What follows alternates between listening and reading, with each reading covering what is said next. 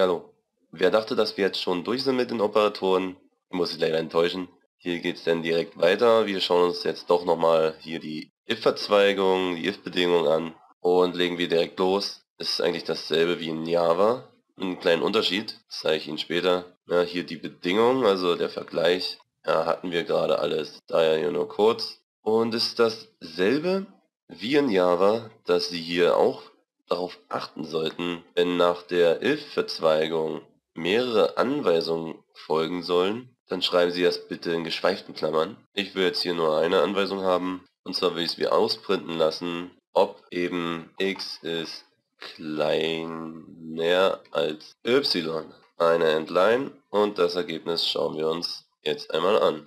Ja, das Ergebnis ist wahr, daher wird das ausgeprintet. Jetzt wird kopiert, eingefügt, hier mal das Zeichen abgeändert. Jetzt muss es natürlich größer sein, größer. Ja, Sie sehen, es wird nicht ausgeprintet, da x halt kleiner ist. Und noch ein letztes vielleicht hier, gleich gleich. Das dürfte ja demzufolge auch nicht ausgeprintet werden. Und genauso ist es. Ja, jetzt hier noch am Ende eine kleine Besonderheit.